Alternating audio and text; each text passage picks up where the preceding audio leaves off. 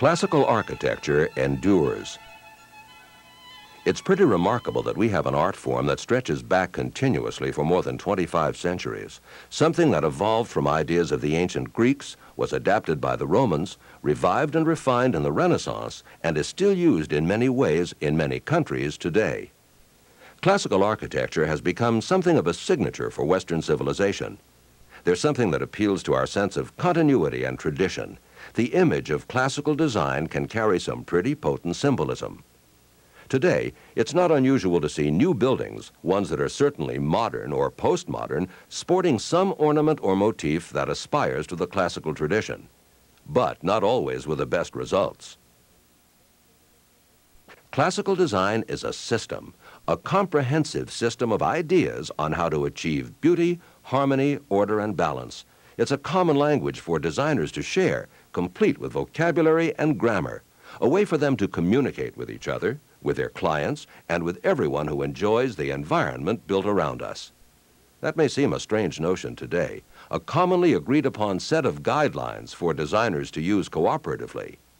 Today, we seem to stress the importance of totally individual creativity. There are few rules or guidelines, but the cost has been high in terms of visual chaos in our cities and suburbs. Like any good system, Classical design begins with the smallest possible items, the atoms of architecture, you might say. It inventories and classifies these elements, analyzes their properties, and sets forth a series of precise mathematical formulas that bring out the best of their qualities. With these guidelines, it becomes possible to create increasingly richer and more complex compositions to delight the eye. So how did designers learn to master these elements and time-honored rules? in the most architectural of ways, of course. They drew them. Hello, my name is Alvin Holm. Under the auspices of an organization called Classical America, I have been teaching what is perhaps the only course in the country in the last 50 years in architectural design in the classical manner. It's not an art history course. It's not a bit academic.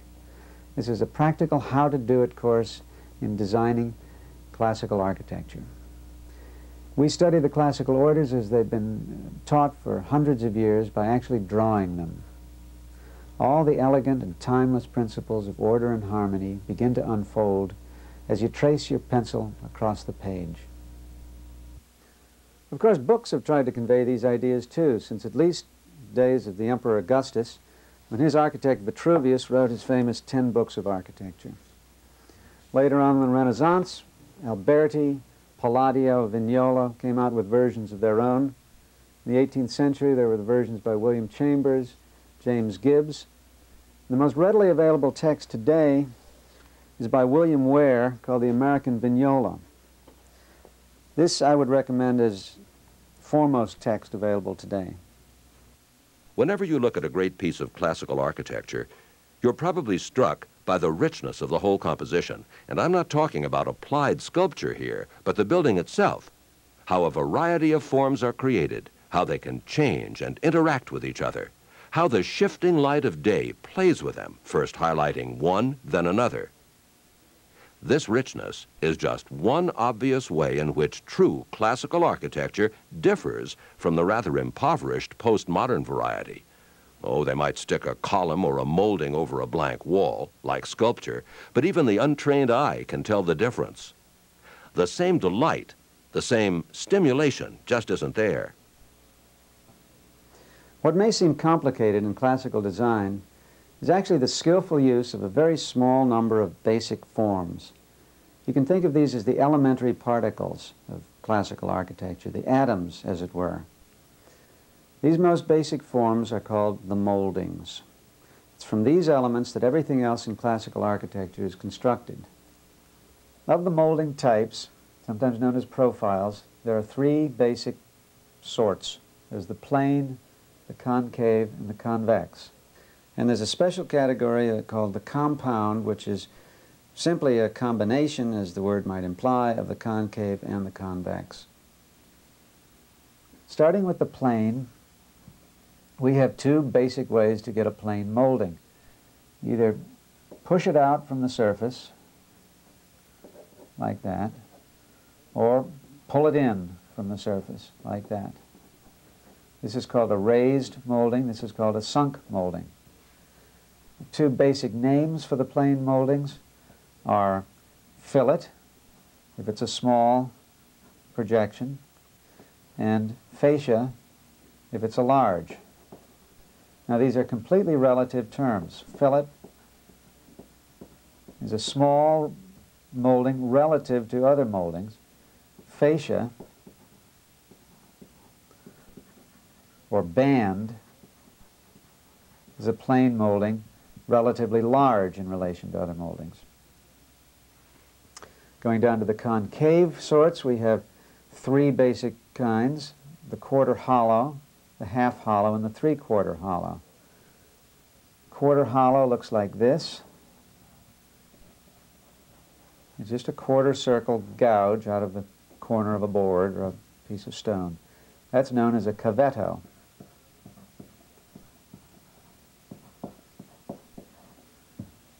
Half hollow looks like that. And its fancy name is Scotia. The three-quarter hollow is a little hard to conceive in actual use, is known by no other name than three-quarter hollow. You seldom find them in classical architecture, but in the Victorian period they were frequently used in the cornice of an elaborate um, ornamental plaster ceiling. Of the convex, there are three sorts corresponding to the concave. There's the quarter round, which is uh, just the reverse, of course, of the quarter hollow. And quarter round is, is its common name. Can, it's available in any, um, any lumber yard by that name. Its Latin name, its fancy name in classical architecture is ovolo, uh, with reference to Latin word for egg. Half round looks like that. It's just a half circle projection. If it's small, it's known as a bead. If it's large, relative to other moldings of its sort, it's known as a torus.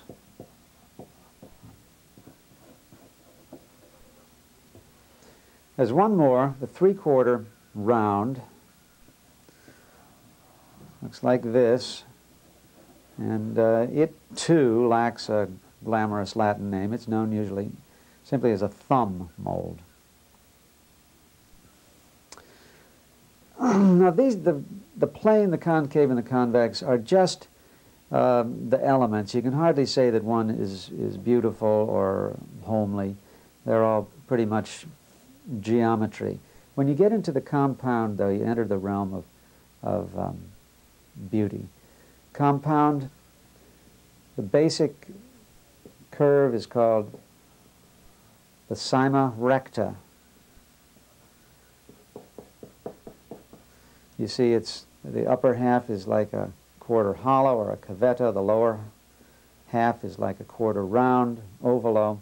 The combination is a sine or a, a wave mold called a cyma recta. Cyma means wave. You see, it's, it's a portion of a wave movement.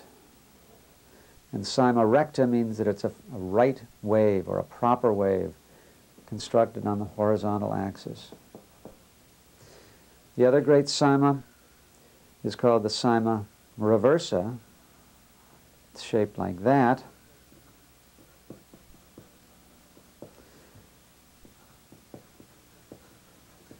And it does not mean a reversed cyma recta. Reversa in this case means turned. It's a sine wave, a cyma, turned 90 degrees so that the wave of which it is a part is constructed on the vertical axis. The last sort of compound is composed of two curves that do not move smoothly into each other. Shape like that you often find on a, on a baluster, or a shape like that. These are known as beak moldings.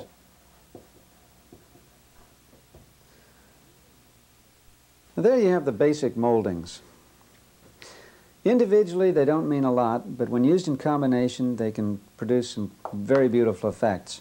Let me give you an example of that. This is a cornice molding. it was designed for, a, for the top of a bookcase in a private home. The ceiling is up here, goes against the wall here. This little molding is the fillet. That's the cavetto. And another little fillet that sets it apart from the fascia. The soffit is the lower portion here. And here's an ovolo separated from the cavetto by another fillet, which is in turn separated from the wall by means of this tiny soffit or fillet. Now that we've looked at the moldings, the elementary particles of classical architecture, let's see how they form compounds. Let's see how we can put them together into forming a full classical entity, the baluster.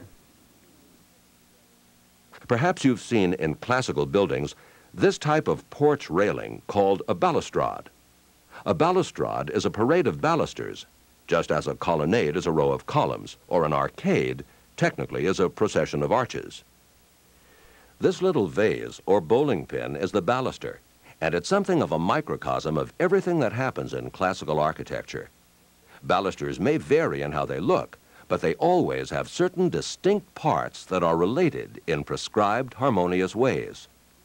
Let's draw one to see how it works. Here is a completed baluster.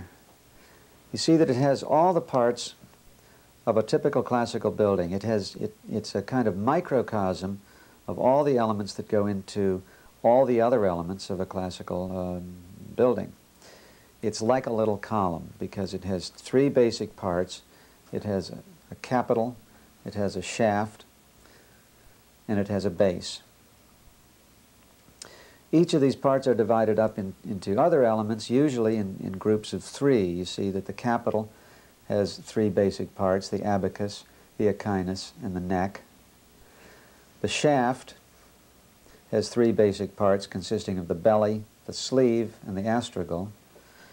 And the base has three basic parts consisting of the plinth, the torus, and a kind of um, elaborated scotia. Now these are the components of the baluster. Let's draw them up and see how they go together.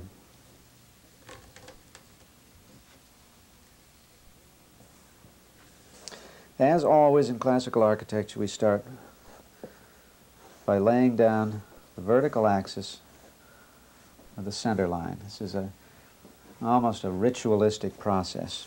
It's like centering. And then we draw a horizontal baseline.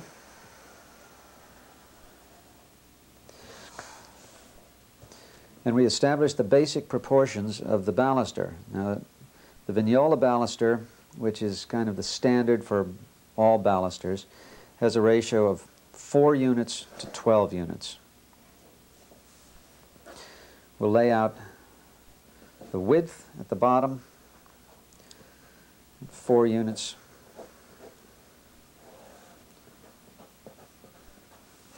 And the height on a measuring line to the right of 12 units.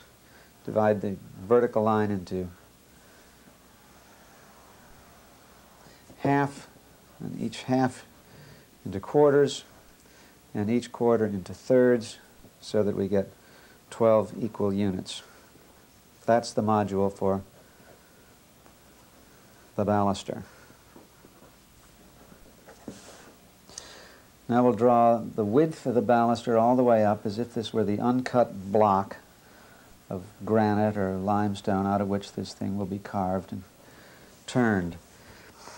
The base assembly occupies the lower third, the, the lower, the lower actually, the, the lower quarter of the whole height of the thing, so that's three modules of the 12. The cap occupies the upper quarter, so that's another three modules, and the shaft occupies the middle or six modules. The three basic parts of the uh, base occupy each a third, so we'll divide that into three parts and slice off the lower third to establish the dimensions and proportions of the bottommost member, which is a square block known as the plinth.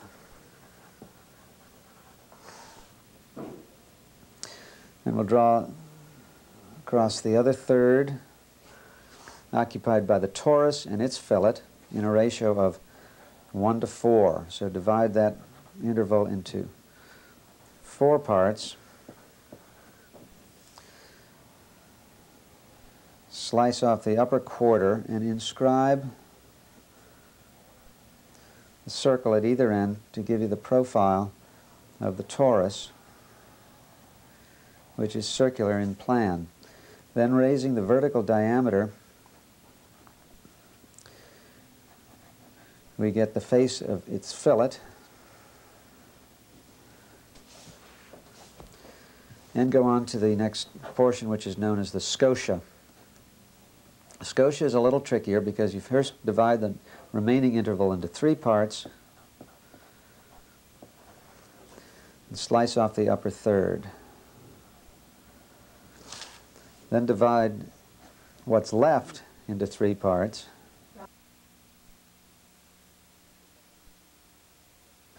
And slice off the upper third of that. That determines the face of the fillet. Now we're not going to draw the profiles in until we've drawn the belly of the shaft. The belly of the shaft is the widest part of the shaft and it's as wide as the whole baluster. Its center line occurs a quarter of the way up the shaft. So there's a half a shaft, there's a quarter of the shaft, and that's the center line. If you inscribe a circle in there,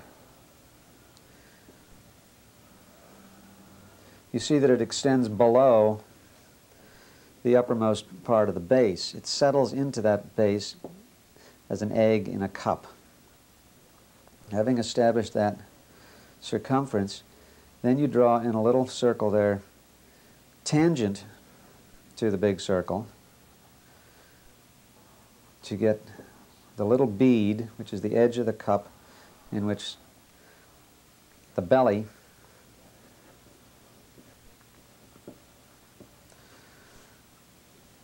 of the shaft rests. Then you can drop a vertical diameter of that little bead to establish the face of its fillet. And between these two fillets, you draw the scotia, thus completing the base of the baluster.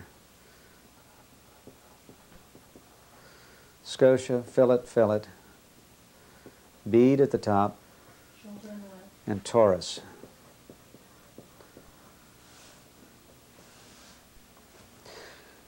now it seems that all things classical are smaller at the top than they are at the bottom. And even though the top of this baluster recapitulates the sequence of the base of the baluster, everything up here is a little smaller than it is down there.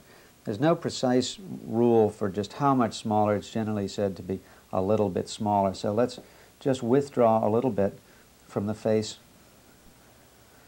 of the, uh, the belly below and the plinth below to establish the height, the, the width of the uppermost member, which is called the abacus.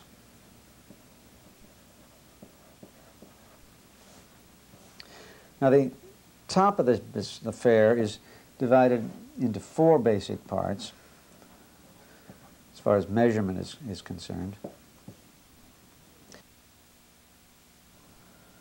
Draw the next quarter for the echinus. Slice off the next quarter for the astragal. And those are the four basic parts above the shaft. Now the abacus is square.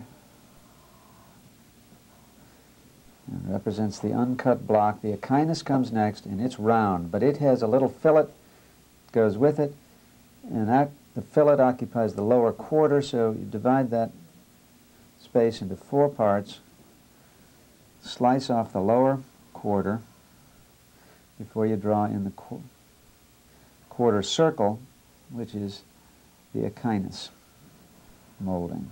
It's an ovolo.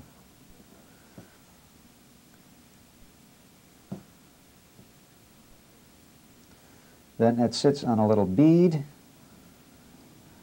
Looks like that.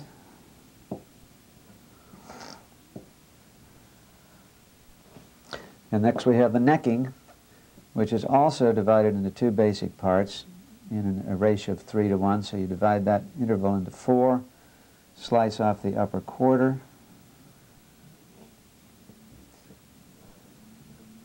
fill in the, uh, the shaft, and below the little bead is a straight molding, a fillet, which joins to the necking in a quarter round. Looks like that. That molding is called the congé.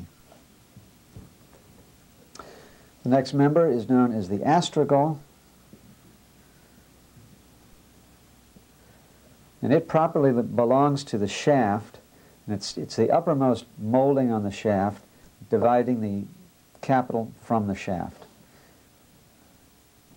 It also consists of several parts in a ratio of 3 to 1. So again, divide the interval into quarters. This time you slice off the bottom quarter, like that. Put in a fillet that extends out from the face of the shaft a distance equal to its height, and complete it with a semicircular torus like that.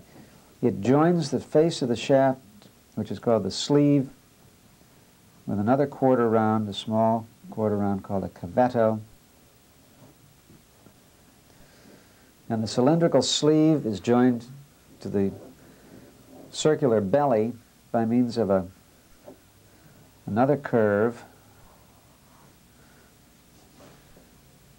and where, where the curve changes direction is called the point of contrary flexure.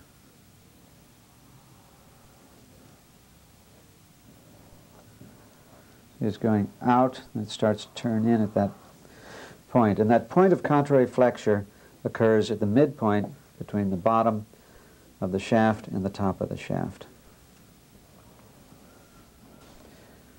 The upper portion of the shaft is called the sleeve.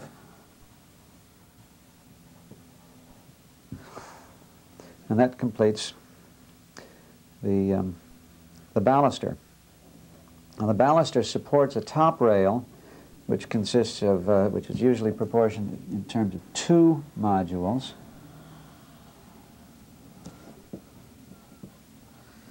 And it sits on a bottom rail which is twice as big, or four modules.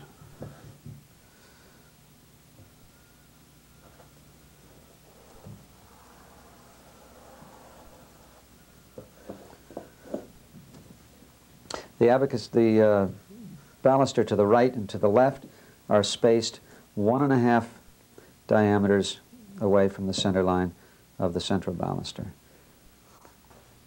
Now that's the baluster. The same principles involved in the design of the baluster can be used to design the whole facade, or a house, a skyscraper, perhaps even an entire city. But the baluster is the beginning.